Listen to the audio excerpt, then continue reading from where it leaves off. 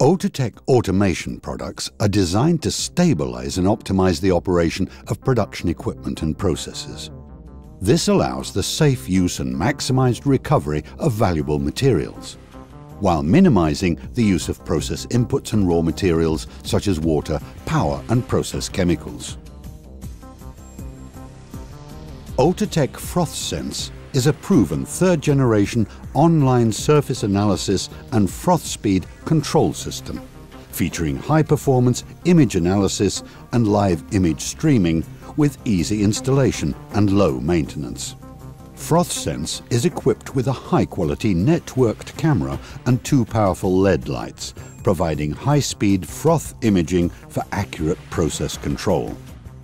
The FrothSense system is based on state-of-the-art algorithms. The system swiftly analyzes the high-quality image data and determines critical information such as froth speed, bubble size, color and stability.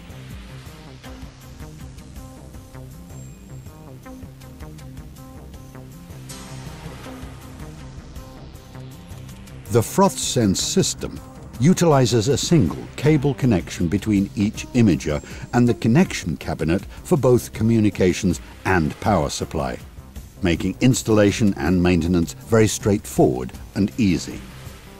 The Outotec ACT Advanced Control Tool combines the measurements from multiple instruments, including FrothSense images and online elemental analyzers. ACT is an efficient tool for operators as it's been designed to automatically and transparently react to process changes.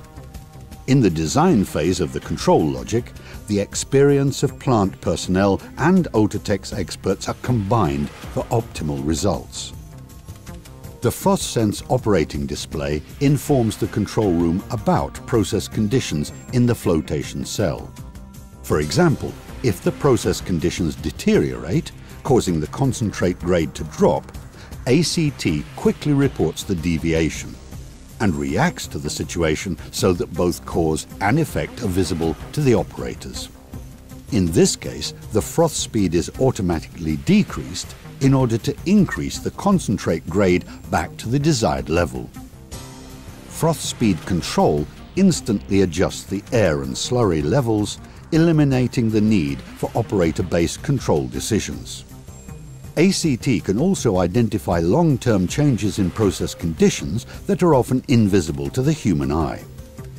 After successful control actions, the concentrate grade returns to the target level and ACT reports that the process is OK. As ACT is programmed to react to the changes in the process, operators are required only to supervise the process the operators can concentrate on monitoring the process safely, efficiently and sustainably.